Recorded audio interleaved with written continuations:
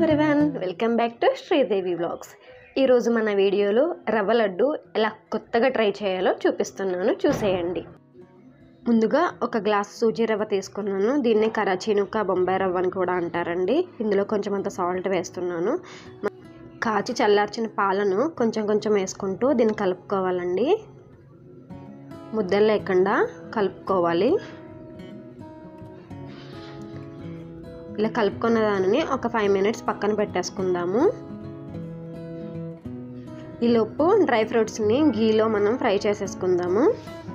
తర్వాత పాన్ పెట్టి ఇందులో ఫ్రైకి సరిపడా ఆయిల్ వేసుకుందాము. మనం ముందుగా పక్కన పెట్టుకున్న బొంబాయి రవ్వని చిన్న చిన్న పీసెస్గా ఈ మరుగుతున్న ఆయిల్లో వేసుకొని గోల్డెన్ కలర్ వచ్చేదాకా దీన్ని మనం ఫ్రై చేసుకోవాలి.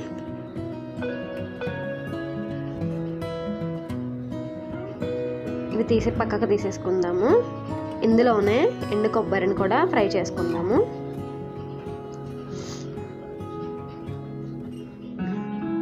ఫ్రై అయిన తర్వాత వీటిని ఒక మిక్సీ జార్లోకి ట్రాన్స్ఫర్ చేసేసుకుందాము.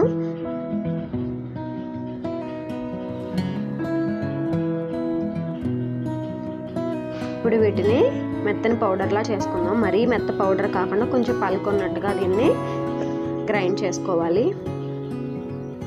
ఇందులో కొంచెం అంత యాలకుల పొడి వేస్తున్నాను.